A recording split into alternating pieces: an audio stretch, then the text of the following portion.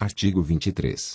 O Colégio de Líderes designará, dentre os vereadores que não integrem a mesa diretora, um corregedor parlamentar e um vice-corregedor, para substituí-lo em seus impedimentos. Parágrafo único. O corregedor parlamentar ou um vice-corregedor, quando em exercício, não poderão ocupar a presidência de nenhuma das comissões permanentes ou especiais. Artigo 24. As competências do corregedor parlamentar serão regulamentadas por ato da mesa diretora, dentre elas, as providências necessárias à defesa dos direitos e prerrogativas asseguradas ao vereador. Artigo 25.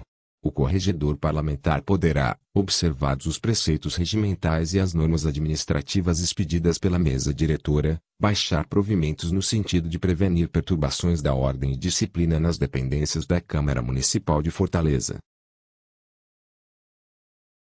Capítulo 6 da Procuradoria Parlamentar. Artigo 26. A Procuradoria Parlamentar terá por finalidade promover, em colaboração com a mesa, a defesa da Câmara, de seus órgãos e membros quando atingidos em sua honra ou imagem perante a sociedade, em razão do exercício do mandato ou das suas funções institucionais. Parágrafo 1 a Procuradoria Parlamentar será constituída por três membros designados pelos presidente da Câmara, a cada dois anos, no início da sessão legislativa, com observância, tanto quanto possível, do princípio da proporcionalidade partidária. Parágrafo 2 A Procuradoria Parlamentar providenciará ampla publicidade reparadora, além da divulgação a que estiver sujeito, por força de lei ou de decisão judicial, o órgão de comunicação ou de imprensa que veicular a matéria ofensiva à casa ou a seus membros.